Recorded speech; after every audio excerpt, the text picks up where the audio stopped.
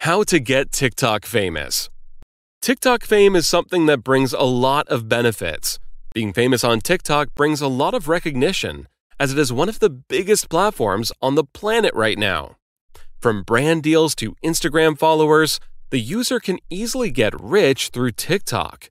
Famous TikTok users get almost the same hype as A list actors. It can further result in movie roles, documentaries, and much more. People like the D'Amelio sisters have got international stardom from TikTok. But how do you get TikTok famous in the first place? You can easily become famous on TikTok by just giving your videos the best conditions to go viral. By following the steps for every one of your videos, you can gain followers and become TikTok famous. Follow trends. To become famous on TikTok, you need to go viral. That can be easily done by making videos about famous trends. Anything that the biggest accounts are doing, you need to do. If it's a dance, a specific kind of video, you need to get on the bandwagon and post about it. By making videos about trending topics, your chances of going viral increase a lot. So pick whatever topic is hot at that time and make videos about them in batches. Pillar content. Many creators get a viral video, but afterwards, their fame stagnates. They gain followers, and then none of their videos pick the same pace. This is because those creators stop making the types of videos that made them go viral. So if you get a viral video, make it the pillar of your content.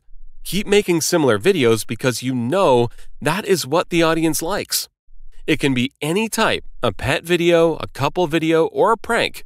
If it does well, make it your brand. Many creators find their pillar and base everything on it. This is how they get fame. But you can do all this but still not get famous.